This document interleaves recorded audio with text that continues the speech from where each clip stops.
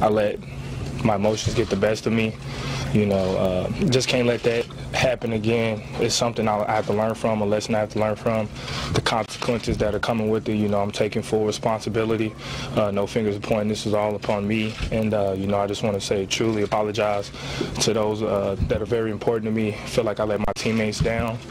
Um, these guys mean a lot to me. And, uh, not to be able to be out there with them is is a big uh, it hits me in my heart. You know, I have a lot of people that look up to me, a lot of little kids. So, you know, once again, like I said, I truly apologize. Folks, uh, welcome back to the Steve Malzberg Show. That's Oklahoma State college basketball star Marcus Smart. And uh, some might say what he did uh, was not live up to his uh, last name. He's been suspended for three games for shoving a Texas Tech fan in the final seconds of Saturday's game. And uh, he tried to, uh, to block a dunk attempt from behind uh, as time was running out, but he stumbled out of bounds behind the basket. And as he was being helped up, he exchanged words with a fan in the front row before lunging at the fan and pushing him. And uh, that was that incident. Joining us now to talk about uh, that and, uh, and much, much more is David Swerdlick, columnist and contributing editor for TheRoot.com. Hello, David. Hey, Steve. Thanks for having me. Always my pleasure. We're going to look at that uh, incident, uh, let the folks see it now um, as we talk about it. So you you uh, wrote a column, uh, I, I, will say defending him. That's how I interpret it. Of course, it's called Three Things to Consider Before Condemning uh, Marcus Smart. What are they? Well, I was defending him, definitely. And I think the, the things I was trying to point out was not that what he did was okay. As you said, it wasn't smart. But uh, I think, number one, what was clear when you watched the entire replay was that something was said. I mean, more facts have come out since that article came out. But, you know, it was clear that Smart was about to head back into the game, and he whipped around when he heard something said by a fan. That fan was Jeff Orr. It was reported initially that the comment or the taunt might have been racial. Now, uh, of course, both Orr and Smart say that it wasn't, so thankfully that wasn't the case. But uh, I was also making the point at the time that depending on the taunt, if it was something either racial or very, uh, you know, negative or harsh or nasty, um, you know, it's it's a question mark as what point does a college athlete have to put up with a taunt from a fan, especially when he risks injury to kind of fall into the stands making a play. And then finally, in answer to your question, you know, I just wanted to highlight this thing about we really take these college athletes to task. And I think it's very fair game to take them to task to a certain point, and it's definitely fair game to take pro athletes to task to a certain point. But when you're talking about unpaid college athletes who are participating in a university activity in front of paying customers, you know, the colleges should protect them and treat them as what they are, student athletes. Well, well okay, I'm not sure what you mean by protect them. There's security at games. This was unavoidable. This is the same setup as any uh, college game or professional game. And uh, whether it was racial, which it wasn't, and originally the reports were that he, Smart, claimed it was racial, when photographer investigations were were done. Photographers, fans, uh, the the the uh, uh, person himself who got pushed, all of them said that there was nothing racial about the comment. Um, so I guess he's since backed down on that smart after not not one witness uh, backed that up. But um, I, I, mean, you, there's no excuse. There's, there's absolutely no excuse. First of all, I, I am for paying college players, but they do receive a scholarship. He's there on a free ride, okay? So it's not like he's unpaid. He's getting a, an education at a university he probably wouldn't able to be to afford to go pay full price to. So I mean, let's. I don't know how that enters into it at all. Uh, you're making it sound like they walk around with a chip on their shoulder that they're being taken advantage of uh, by the university, and anybody who says something interpreted as offensive, they that that that kind of makes an excuse for them to push and, and get physical because they got a chip on their shoulder. I mean, is that what you're saying about the the, the, the point you made about playing for free?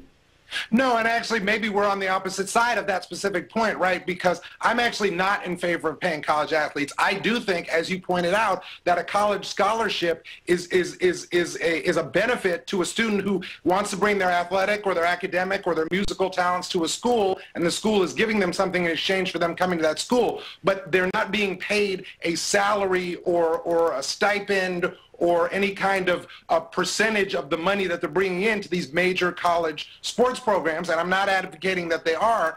And most, when you read any polls, most Americans are not in favor of that. So but how does that enter into this? How does that enter into his defense? Because, because for two reasons. One, when people, when this first broke on Sunday night, people were comparing it to situations like the malice at the palace and other incidents in pro sports. But to me, when you're talking about a college student, I think the university has to do everything it can not to throw their student under their bus. This is not an employee. It's a student. It's not, he's not a kid in the sense that he's a legal adult, but he is a college student just like every other student on that campus. And the university should be protecting them, not throwing them out there for the media, etc. Now, in terms of what... Well, wait, wait, wait, I don't understand. I don't understand. How'd they throw him under the bus? In other words, you use that in defense of his getting physical. And I don't understand how that not getting paid and not getting a stipend excuses him in any way or takes it or lessens the lessens the effect or the or the seriousness of what he did. I don't get that. No, no, no, the, the, no. Clearly, based on the facts that we know now, Steve, that there's there was no cause for Smart to shove the fan. And I think Smart should be very thankful to his teammates for grabbing him, getting out of the situation before it escalated. I think that, that to that fan's credit, what was initially reported as racial turned out to be it was not a racial comment. That said, I do think that that, that fan should come under the similar scrutiny to to Smart because you know why a guy dives into the stands after a ball and then you're taunting him even, even no matter what you're saying that you're talking about a, a, grown man, a booster, in relation to a, a 19, 20-year-old student, number one. And then just, just the, the last point on that, Steve, would be that, again, it turned out that the university gave him a three-game suspension. I think that's okay, that's reasonable. I would have gone ejection and one game, but fine. It's not going to ruin his season. But there, it did look for a moment like people were talking about this was just some horrific thing that had happened and that he should be out for the rest of the regular season. If that had happened, I think it would have been totally out of proportion. Well, see, no, I think a case could be made for that. I mean, if you know, in real life, you want to talk about real life as a college kid. If uh, if someone says to him, uh, you know, blank you or you you piece of blank uh, at a bar or on the street, he has no right to go up and punch the guy or push the guy, he'll be arrested and thrown in jail. So I, I, I don't understand why on the court, uh, in a game situation, I mean, I think the fan should be ejected, possibly too, but I don't think ever unless he's uh, uh unless he's spat upon or something's thrown at him, and even then it's questionable. Uh, or, you know, or I don't see any verbal assault that that that entitles a player, college or pro, to go into the seats and hit a fan. Okay, no, and okay, and let me just touch on that point, Steve, again, because we're talking about it after the fact, and I do understand what you're saying. B based on the facts we know now. Well, even I if he called him the N-word. No, okay. Legal, legally, let's play. Uh, no. Let's play that game. Legally, no. on the street, he would have no no legitimate. You can't. The law doesn't state if you call the N-word, if you're offended, you can punch somebody. Okay, wait, Steve. We agree on one small point all bets are off when you're talking about out in the real world, on the sidewalk, in a bar, at a party. No, you've got you. No matter whether you're 19 or, or 50 years old, you've got to be able to maintain your composure. When you dive out of bounds, making a play, you're being helped up, you're heading back onto the court, which clearly is shown in the video. If, this is a hypothetical, I agree it didn't happen, if he had been called the N-word, I don't think I can condemn him just for shoving the guy. It's not like he injured the guy or, or anything further got out of hand, thankfully for both sides. I don't think we're at a point in our society now where a guy dives out of bounds and should have to walk away without responding if someone calls them the N-word. I, I, I don't know how I would react in that situation. I don't know how you would react in that situation. It, that is a very charged situation. You, you, you, you're screaming them back. There's no, you, you can't be condoning or, or excusing or leaving open the possibility for physical violence. This guy could have had a heart attack after he was pushed. Or some other fan might have come to his defense because he was an older gentleman and then hit the player. Now, all chaos could have broken out. We're lucky it didn't happen that way. But, but you know what? If, if, I, if I'm sitting next to, if it's my father and this guy punches him, maybe I punch the player. I mean, you can't, you can't just take it upon yourself to get physical because you're offended. Look, the better part of valor for anybody in this situation would be to try and maintain their composure. I'm simply saying that, and, and again, let me be clear. Smart should consider himself very fortunate that it didn't escalate and that his teammates pulled him away. He owes them big time.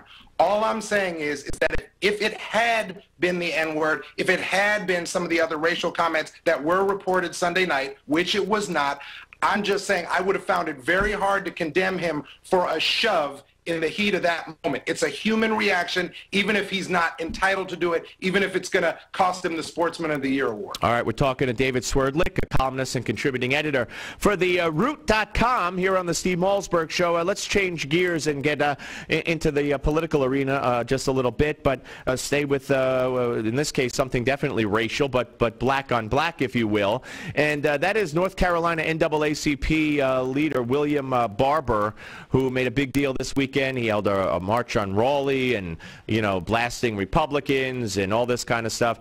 but I mean, he's the guy who is doubling down and defending himself for calling Tim Scott, black Republican Senator Tim Scott, a dummy, a ventriloquist can always find a good dummy, Barber said, uh, and, and, saying that the extreme right has picked, uh, has picked uh, Tim Scott to be their black dummy and mouthpiece.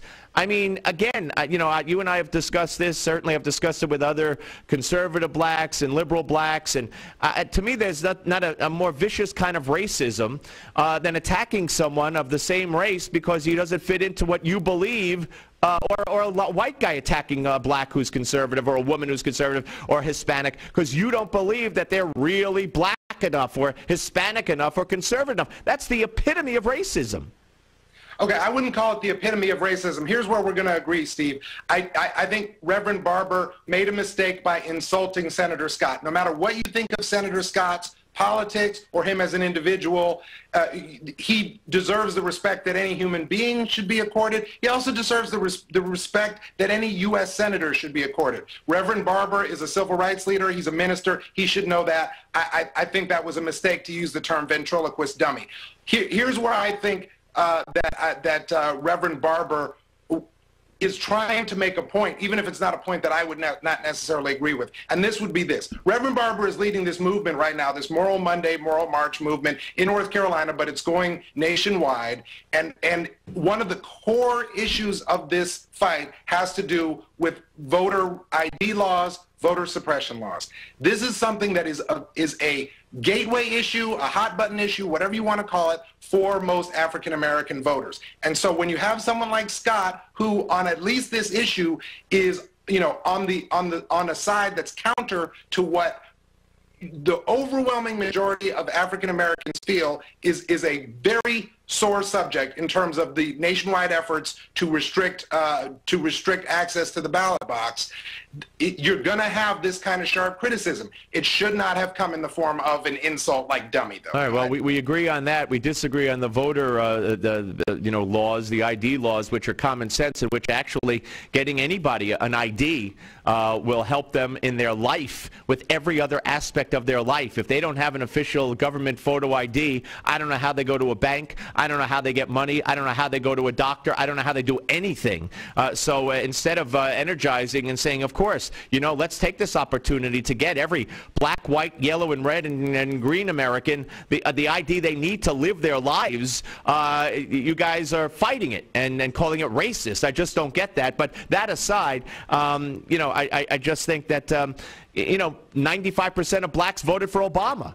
So by definition, any black Republican or conservative is against what 95% of the black community did. So, you know, there's always going to be that opportunity for people like the Reverend uh, to, to trounce and pounce upon, uh, you know, blacks who uh, are not on board with, uh, with the, the majority of blacks. So at least we agree that that's not the, the way to do it, though, correct? Steve, that, we, we agreed that, that it was an insult and it shouldn't have happened. Steve, I, I just have to respond to one thing that you yeah, said. Yeah we're not going to agree on the voter ID issue now, and that's fine. But I will say this: that it, it, it is to me, and I think to most African American voters, hard to fathom that the, the, the voter ID restrictions being implemented in various states throughout the country are not aimed at suppressing the Black, Latino, senior citizen, younger millennial student vote.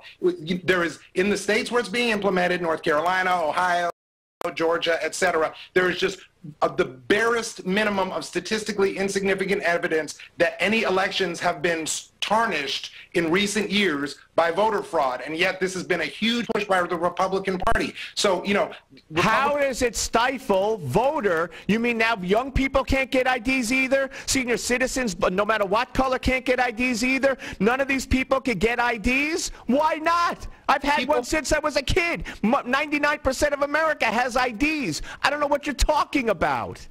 People have IDs. I have IDs. You have IDs. Most voters have IDs. We we we saw in the 2012 election that uh, you know what one theory is that there was such a high turnout among voters of color, partly because people were incensed that you know people you know this is four years into the obama administration. People uh, black white republican democrat no one's as enamored with president obama or any other politician as they were four years ago. But yet there was still a huge turnout. And one of the reasons is i think that people were incensed at the fact that this idea that voting should be further restricted. It, that doesn't mean that people I, you're right people need IDs in all walks of life, but when you're talking about a fundamental right of citizenship, absent voter fraud, it's it's it's very hard to uh, come to any other conclusion about what. Wait a minute! I need an ID to get a gun. That's my Second Amendment right. I can't get a gun without an ID in my in my town.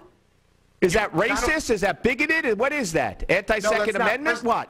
First of all, that's a public safety issue. First of all, the second. First of all, I didn't say it was a constitutional right, it, although it is a constitution. To vote, yeah. It's a fundamental function of citizenship. I understand some people would argue that owning a gun and, and bearing arms is a fundamental function of citizenship. I'm not making it's a, that. It's a constitutional right. All right, look. I, am making the argument about voting. You're not going to get health care on Obamacare either without ID. So, I mean, you know, I guess that's racist against senior citizens and millennials and blacks and Hispanics, and maybe we should waive that you have to enter Social Security number. Or you know maybe you lost the card and you're too poor to get another one. I mean that's racist.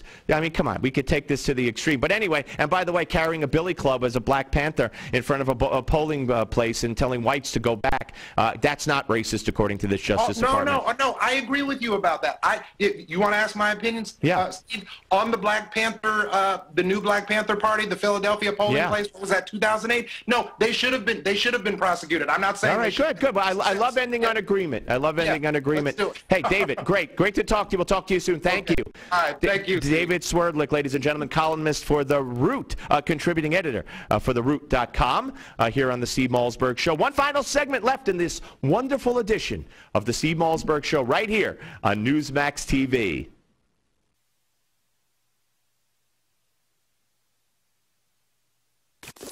The Steve